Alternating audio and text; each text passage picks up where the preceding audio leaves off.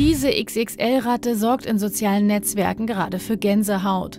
Und er will dabei gewesen sein, als das Riesentier im Pausenraum im Duisburger Hafen gefunden wurde. Rick Korbel. Am besagten Tag haben wir dann die Anbauküche ein bisschen zur Seite geschoben und äh, die Ratte dementsprechend ein wenig herausgelockt. Da haben wir erstmal das Ausmaß des Tieres gesehen, also es war schon relativ groß. Und äh, viele meiner Kollegen und ich auch sind dann erst aus dem Raum raus. Wir wollten uns dann ein bisschen in Sicherheit bringen. Und äh, ja, der Kollege hat dann äh, quasi einen gezielten Schlag auf die Ratte gemacht oder ausgeübt. Und äh, dadurch war sie dann ein wenig benommen und äh, er hatte dann so gesehen den Rest gegeben.